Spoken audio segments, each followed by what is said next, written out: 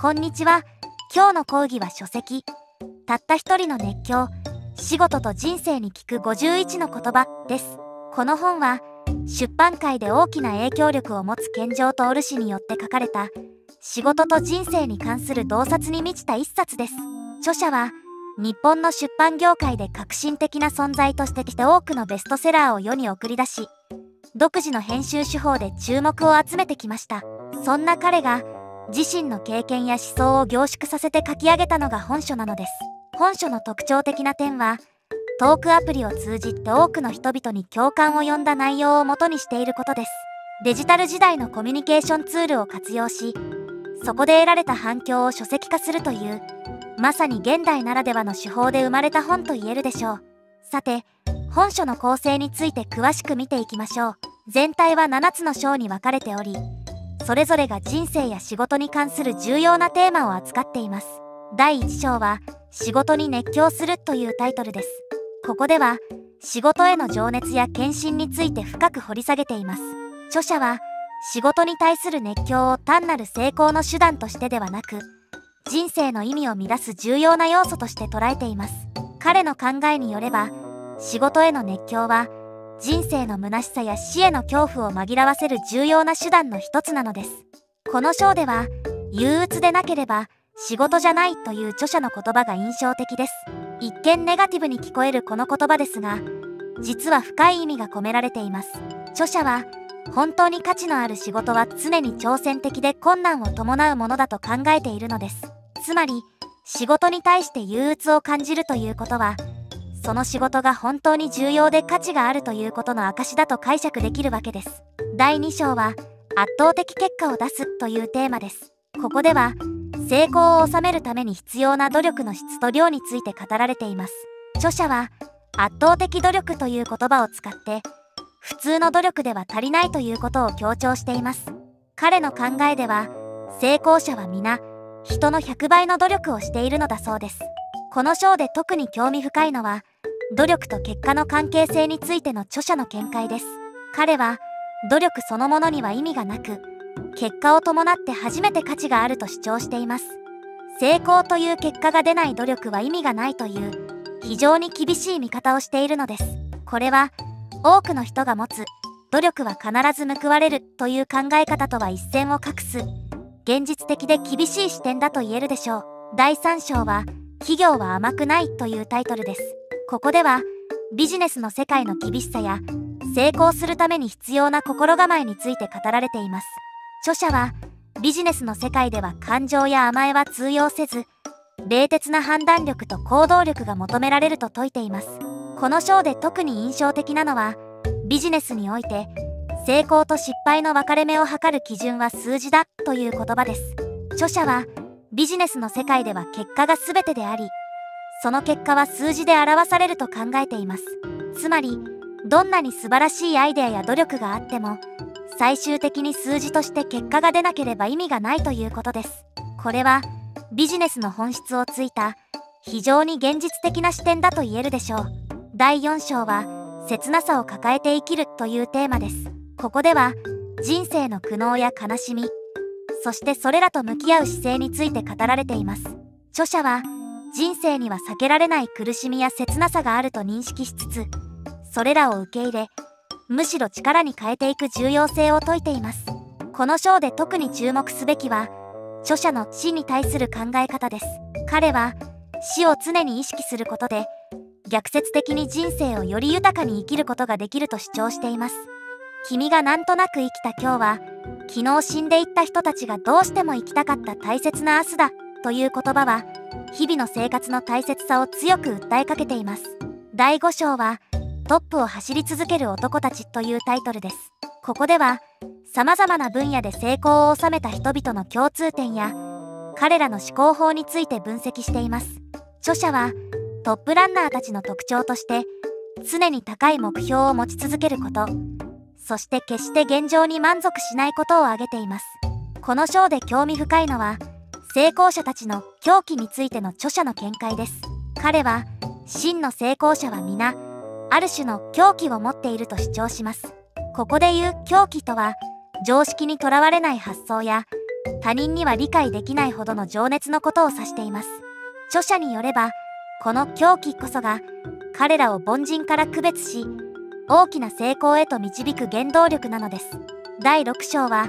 悲しくなければ恋愛じゃないというテーマです。ここでは仕事だけでなく人生の重要な要素である恋愛や人間関係について語られています。著者は真の恋愛には必ず苦しみや悲しみが伴うと考えています。この章で特に印象的なのは著者の恋愛観です。彼は恋愛を単なる幸福の源泉としてではなく人間的成長の機会として捉えています。苦しみや悲しみを伴う恋愛こそが人間を深く豊かにすると主張しているのです。これは現代社会で往々にして見られる楽しければいいという船舶な恋愛観とは一線を画す深い洞察だと言えるでしょう。第7章は人生を豊かにする遊び買い物食事というタイトルです。ここでは仕事以外の生活の側面に焦点を当ていかに充実した人生を送るかについて語られています。著者は遊びや買い物食事といった日常的な活動も適切に行えば人生を豊かにする重要な要素になると考えています。この章で特に注目すべきは著者の遊びに対する考え方です。彼は遊びを単なる時間つぶしや気晴らしとしてではなく創造性を育み人生の質を高める重要な活動として捉えています。また買い物や食事についても単なる消費活動ではなく自己表現や文化体験の機会として捉えるべきだと主張しています。さてここまで本書の内容を章ごとに見てきましたが全体を通して著者の思想や哲学がどのように現れているかについても考えてみましょう。まず著者の仕事観について彼は仕事を単なる生計の手段としてではなく人生の意味を乱す重要な要素として捉えています。仕事に熱狂するという言葉に象徴されるように仕事に全身全霊を捧げることで人生の虚しさや死への恐怖を乗り越えられると考えているのです。これは現代社会で往々にして見られるワークライフバランスの考え方とは一線を画す非常に情熱的な仕事観だと言えるでしょう。次に著者の成功感について彼は成功を非常に厳しく定義しています。圧倒的努力と圧倒的結果を求め努力だけでは意味がないと主張しています。これは頑張ればいつか報われるといった甘い考え方とは真逆の非常に現実的で厳しい視点です。しかし同時にこの厳しさこそが真の成功への道筋だと著者は考えているのです。また著者の人生観も非常に特徴的です。彼は人生の苦しみや切なさを避けるのではなくむしろそれらを受け入れ力に変えていくべきだと説いています。死を常に意識しそれによって逆説的に人生をより豊かに生きるという考え方は深い哲学的洞察に基づいていると言えるでしょう。さらに著者の恋愛観や遊び観にも注目すべき点があります。恋愛を成長の機会として捉え遊びを創造性の源泉として重視するなど日常生活のさまざまな側面を深く意味のあるものとして捉えています。これは人生のあらゆる瞬間を大切にしそこから学びを得ようとする姿勢の表れだと言えるでしょう。本書の特徴的な点として著者の言葉の力強さも挙げられます。憂鬱でなければ仕事じゃない悲しくなければ恋愛じゃないなど一見逆説的に見える表現が多用されています。これらの言葉は読者に強いインパクトを与え深い思考を促す効果があります。また本書は単なる成功哲学や自己啓発本ではありません。著者の人生観や世界観が随所に現れており読者に深い洞察と新たな視点を提供しています。例えば死を意識することで生をより豊かにするという考え方は単なる成功術を超えた人生の本質に迫る思想だと言えるでしょう。本書の内容は時に厳しく時に挑戦的です。著者の主張する圧倒的努力や結果主義は多くの人にとって受け入れがたいものかもしれません。しかしその厳しさの中に現代社会で成功し充実した人生を送るためのヒントが隠されているのです。著者の思想はある意味で現代の常識に挑戦するものです。ワークライフバランスよりも仕事への没頭を楽しい恋愛よりも苦しい恋愛を重視するなど一般的な価値観とは異なる主張が多く見られます。しかしこれらの逆説的な考え方こそが読者に新たな視点を提供し深い気づきをもたらす可能性があるのです。本書の魅力は著者の豊富な経験に基づいた具体的なアドバイスと人生の本質に迫る哲学的な洞察が融合している点にあります。仕事や恋愛といった具体的なテーマについての実践的なアドバイスと同時に人生の意味や死との向き合い方といった深遠なテーマについても語られているのです。また本書は単に著者の経験や思想を一方的に述べるのではなく読者に自身の人生や価値観について深く考えることを促しています。例えば仕事に熱狂することは本当に正しいのか結果だけを重視することに問題はないのかといった問いを読者に投げかけ自身の答えを見つけることを促しているのです。本書の内容は必ずしも全ての人に当てはまるものではありません。著者の主張する生き方や価値観はある意味で極端なものだと言えるでしょう。しかしそれゆえに読者の思考を刺激し自身の生き方や価値観を見つめ直すきっかけを提供しているのです。本書を読む際には著者の主張を鵜呑みにするのではなく批判的に検討し自身の経験や価値観と照らし合わせながら読み進めることが重要です。そうすることで本書からより多くの学びを得ることができるでしょう。そして本書は単なる成功の法則を説いた本ではないということを強調しておきたいと思います。確かに仕事や人生での成功について多くの示唆を与えてくれますがそれ以上にいかに生きるべきかという根本的な問いに対する一つの答えを提示しているのです。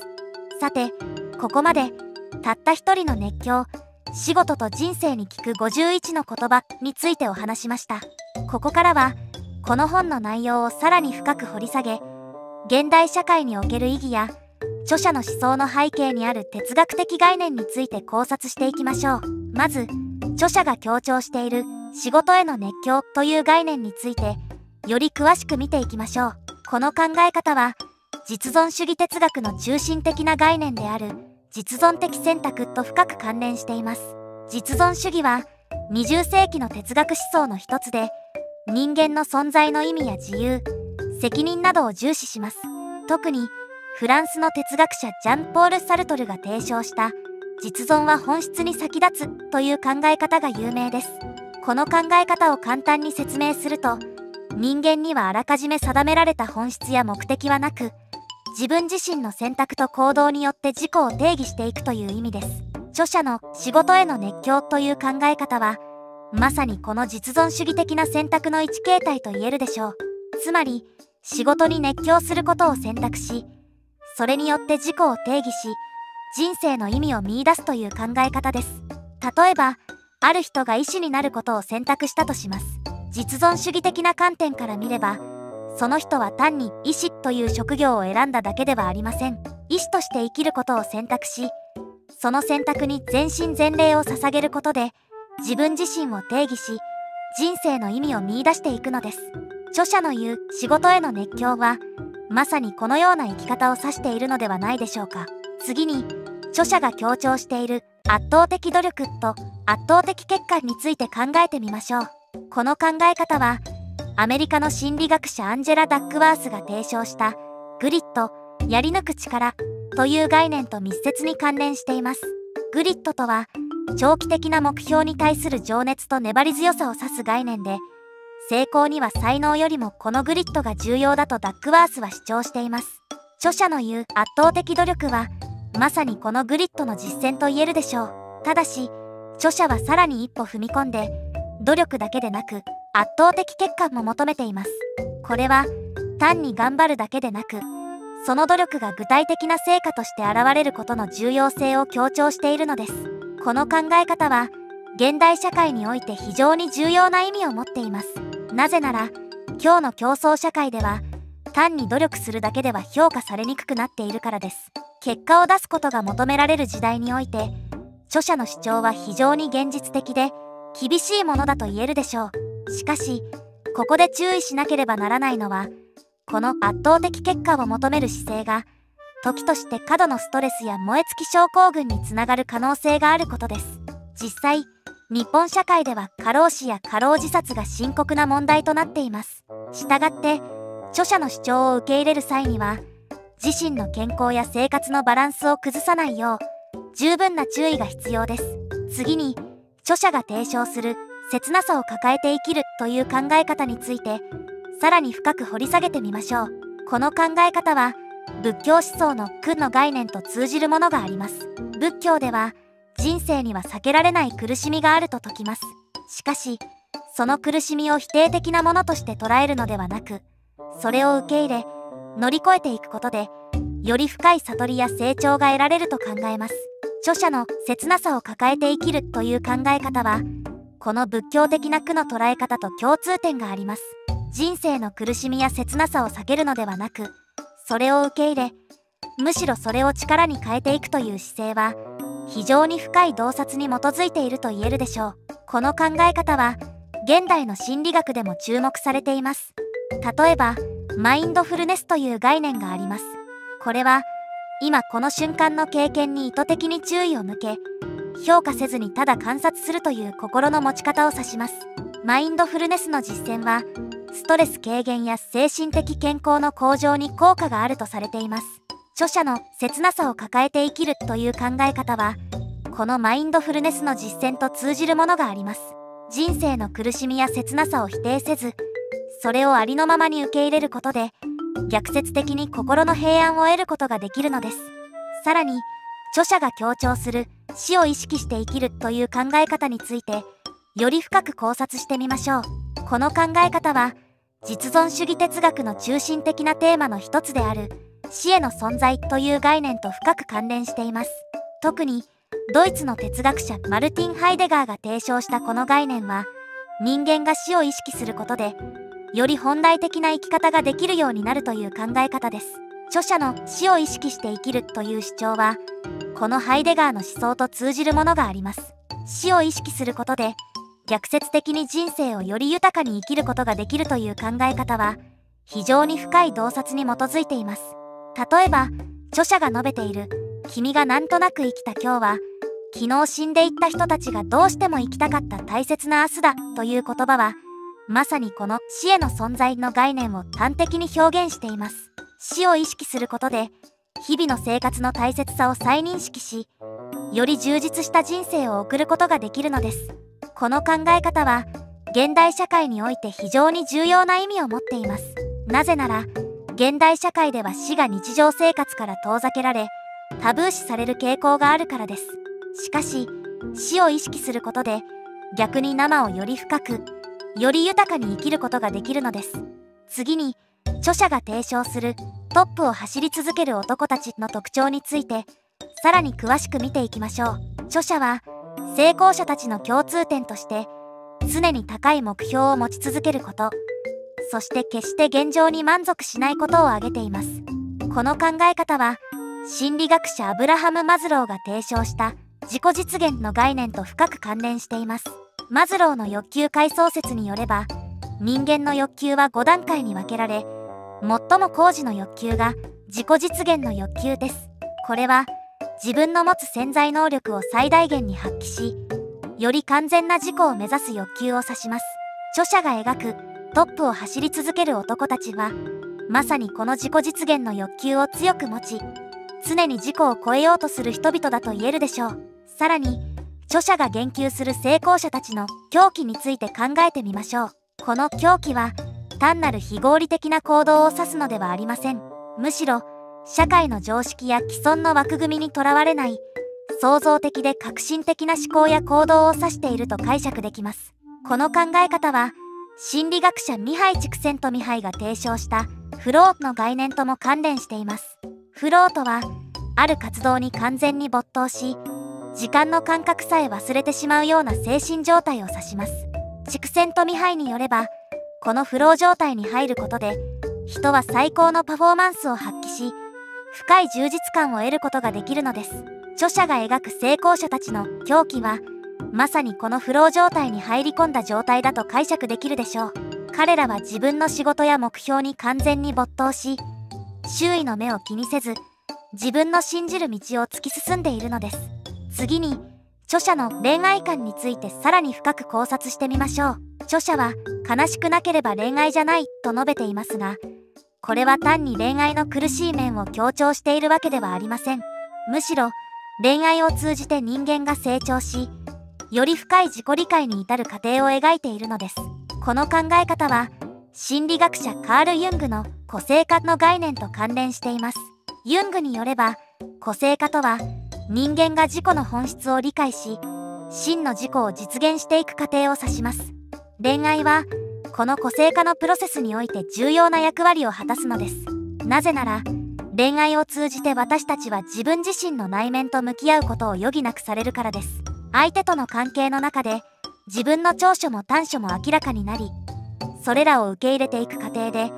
より深い自己理解に至ることができるのです。著者が恋愛の悲しさを強調するのはこの事故との対峙が時に苦しく悲しいものだからでしょう。しかしその苦しみや悲しみを通じて私たちはより成熟した人間になっていくのです。最後に著者が提唱する人生を豊かにする遊び買い物食事という考え方についてさらに深く掘り下げてみましょう。この考え方は単に日常生活を楽しむことを進めているわけではありません。むしろ日常の中に深い意味を見いだしそれを通じて人生全体を豊かにしていく方法を示唆しているのです。この考え方はフランスの哲学者ミシェル・フーコーが提唱した自己の技法という概念と関連しています。フーコーによれば自己の技法とは個人が自分自身を変容させより良い自己を実現するために行う実践のことを指します。著者が提唱する遊び買い物食事を通じた人生の豊かさの追求はまさにこの自己の技法の一形態だと言えるでしょう。例えば遊びを通じて創造性を育み買い物を通じて自己表現を行い食事を通じて文化を体験する。これらの日常的な活動を通じて私たちは自己を変容させより豊かな人生を実現していくことができるのです。この考え方は現代社会において非常に重要な意味を持っています。なぜなら現代社会では往々にして仕事と私生活が明確に分離され私生活が単なる息抜きやリフレッシュの時間として扱われがちだからです。しかし著者の考え方に従えば私生活もまた自己実現や人生の豊かさを追求する重要な場なのです。以上本日の講義ではたった一人の熱狂仕事と人生に聞く51の言葉を通じて現代社会における成功と幸福の本質について深く考察してまいりました。この書籍が提示する視点は私たちの日常生活や職業観に大きな影響を与える可能性を秘めています。特に注目すべきは著者が提唱する内なる情熱の重要性です。この概念は単なる仕事への熱意を超えて人生全体の指針となりうるものです。例えば芸術の分野ではこの内なる情熱が創造性の源泉となることがよくあります。ゴッホやピカソといった偉大な画家たちは社会の常識や既存の価値観にとらわれることなく自身の内なる声に従って創作活動を行いました。その結果彼らは芸術の歴史に新たな地平を切り開いたのです。同様に科学の世界でも内なる情熱の重要性は無視できません。例えばニュートンやアインシュタインといった科学者たちは当時の常識を覆す革新的な理論を提唱しました。彼らの業績は単なる知識や技術だけでなく真理の探求に対する強い情熱に支えられていたのです。しかしここで注意しなければならないのは内なる情熱を追求することと社会的責任を果たすことのバランスです。現代社会においては個人の情熱だけでなくその情熱が社会にどのような影響を与えるかも考慮する必要があります。例えば環境問題や社会的不平等といった課題に対して私たちはどのように向き合うべきでしょうか。この点について哲学者のピーター・シンガーの効果的利他主義という考え方が参考になるかもしれません。シンガーは個人の能力や資源を最大限に活用して世界をより良くすることを提唱しています。つまり内なる情熱を追求しつつ同時にその情熱を社会貢献に結びつけるという考え方です。また著者が強調する結果主義についてもさらなる考察が必要でしょう。確かに結果を重視することは重要です。しかし短期的な結果だけでなく長期的な影響も考慮する必要があります。例えば教育の分野ではテストの点数といった短期的な結果だけでなく生徒の人格形成や将来の可能性といった長期的な視点も重要です。この点について心理学者のキャロル・ドゥエックの成長マインドセットという概念が示唆に富んでいます。ドゥエックは能力は固定的なものではなく努力によって成長させることができるという考え方を提唱しています。この視点に立てば結果とは単なる数字や評価ではなく成長のプロセス全体を指すものとなります。さらに著者が提唱する切なさを抱えて生きるという考え方は現代社会における幸福の本質に迫る重要な視点です。現代社会ではソーシャルメディアの影響もあり常に幸せで完璧な生活を送っているかのように振る舞うプレッシャーがあります。しかし人生には必ず苦しみや悲しみが伴います。それらを否定するのではなく受け入れ向き合うことでより深い人生の意味を見いだすことができるのです。この考え方は仏教思想の苦体という概念とも通じるものがあります。苦体とは人生には避けられない苦しみがあるという認識です。しかしこの苦しみを認識し受け入れることで逆説的に心の平安を得ることができるのです。また著者の死を意識して生きるという提言は現代社会において特に重要な意味を持ちます。現代医療の発達により私たちは死を日常生活から遠ざけがちです。しかし死を意識することで逆に生をより豊かにより意味深く生きることができるのです。この点について精神科医のビクトール・フランクルのロゴセラピーという概念が参考になります。フランクルは人生の意味を見いだすことが精神的健康の鍵だと考えました。そして死を意識することでかえって人生の意味をより鮮明に感じ取ることができると主張したのです。著者の遊び買い物食事を通じて人生を豊かにするという提案も深い洞察に基づいています。これは日常生活の中に意味や喜びを乱す能力の重要性を示唆しています。例えば茶道や華道といった日本の伝統文化は日常的な行為の中に美や精神性を乱す術を教えてくれます。この考え方は心理学者のミハイ・チクセント・ミハイが提唱したフローの概念とも通じるものがあります。フローとはある活動に完全に没頭し時間の感覚さえ忘れてしまうような精神状態を指します。日常生活の中でこのフロー状態を経験することで人生をより充実したものにすることができるのです。本講義を通じて私たちは人生の本質と向き合う機会を得ました。著者の提示する視点は時に挑戦的で時に慰めとなるものでした。しかしこれらの考えを鵜呑みにするのではなく批判的に検討し自身の経験や価値観と照らし合わせることが重要です。人生には唯一の正解はありません。むしろ多様な考え方や生き方があることこそが人生の豊かさを生み出すのかもしれません。著者の言葉をきっかけに皆さん一人一人が自分自身の人生哲学を深めより意味のある人生を追求していただければと思います。そしてこの学びを単なる知識にとどめず日々の生活や仕事の中で実践していくことが大切です。小さな変化から始めて徐々に自分の生き方を形作っていく。そんなプロセスこそが真の成長につながるのではないでしょうか。皆さんがこの講義での学びを糧にそれぞれの人生において自分なりの熱狂を見いだし充実した日々を送られることを心から願っています。そしてその過程で直面する困難や疑問について互いに語り合い学び合える関係性を築いていけたらと思います。そして最後に読書で勉強も大事ですが美容と健康管理も大切です。なぜなら心身ともに健康であることが充実した人生を送るための基盤となるからです。健康な体があってこそ日々の活動や学びに集中できますし自信を持って社会生活を送ることができます。そこで今日は健康と美容を両立させるための画期的なサービスライザップについてお話しします。ライザップは結果にコミットをモットーとする革新的なプライベートジムです。テレビ CM でもおなじみの結果にコミットするというフレーズで話題のパーソナルトレーニングジムで自信を持ってご案内させていただきます。ライザップの最大の特徴は専属トレーナーによるマンツーマントレーニングです。これまでダイエットやジム通いが続かなかった人にとってこの点は大きな魅力となっています。トレーナーがあなた専用のプログラムを作成し一緒に目標に向かって頑張ってくれるのでモチベーションを保ちやすいのです。またライザップでは食生活やメンタルのマネージメントにも力を入れています。無理な食事制限はありません。むしろ食べられるダイエットとして知られています。これは